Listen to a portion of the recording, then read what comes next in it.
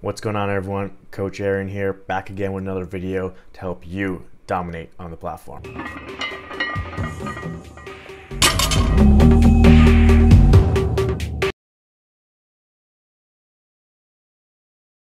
Alrighty everyone, so I figured today I put a little video together talking about verbal cues, the pros and cons to them, and how I feel some people are inaccurately looking at cues, implementing cues, or maybe dismissing cues. So the purpose of a verbal cue is for a coach to give a word or maybe a short phrase to the athlete to make them think of an action that they have to do. So you could say tight, and then the athlete will think, okay, let me make sure I'm squeezing the bar, or maybe that they're bracing against their belt. Whatever the cue is, that has been communicated to the athlete. But some people kind of take someone else's cue. They might go take a cue they heard at a competition or in the gym or online that was specific to a certain situation between a coach and athlete, and then they go and try that cue or whatever they think it means, whatever the action is, on their own. And it may work, oftentimes it does, but sometimes it doesn't. And then they may dismiss the cue and go around telling everyone, oh, well, everyone yells out, stay tight, and it never actually works.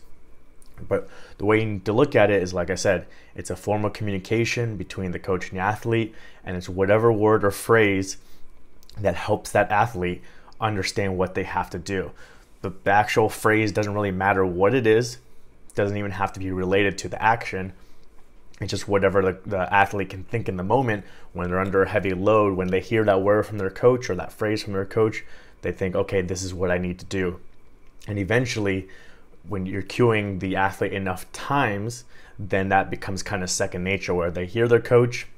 Maybe they just hear the voice, the voice of their coach, don't even actually hear the phrase anymore, and they just instinctively know to do that action, and it becomes second nature. So, you don't want to try and take those cues out of context. A lot of times, a cue is kind of to counter what the athlete is doing. So, for example, if in a squat, the athlete is constantly going on their toes and the, the bar is going forward, their torso is going forward, their, maybe their heels are coming off the ground in the bottom of the squat, then a coach may cue them heels or stay on your heels or push through your heels to try and counter that and get them into the proper position. So, some people on the outside may look in and say, oh, why are they cueing heels or push through your heels? You don't want to do that. You want to be pushing through your entire foot, the big toe, the little toe, and the heel, strong base of support, pushing completely down. And that's the average of that or the median of that is going to be the middle of the foot. Well, in reality, that's what the coach is probably trying to, or hopefully trying to, get the athlete to do.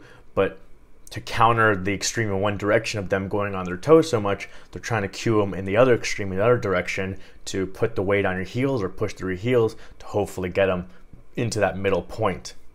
If you cue them if they're pushing through their toes and you cue them, oh, well, just try and push a little further back a little in your foot. It may not be a good cue, it might not get the action that you want and the big of effect as you want.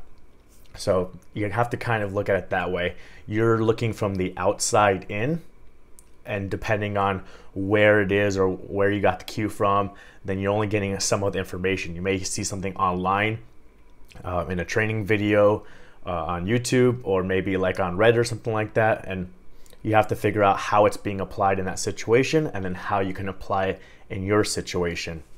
And that's why it's important to know either you as the athlete or if a coach that you're working with what your weaknesses are so you need to know in each movement, these are what my weaknesses are. Some of them might be technical, some of them might be muscular, some of them might be mental. And then you have to figure out, okay, well, this is what the problem is, whatever the weaknesses are. And then here is the plan to solve those problems.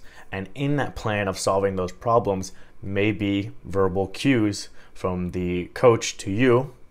Or maybe even if you're coaching yourself, you might have a training partner that gives you the, the cues in training in order to help you clear that gap and solve that problem.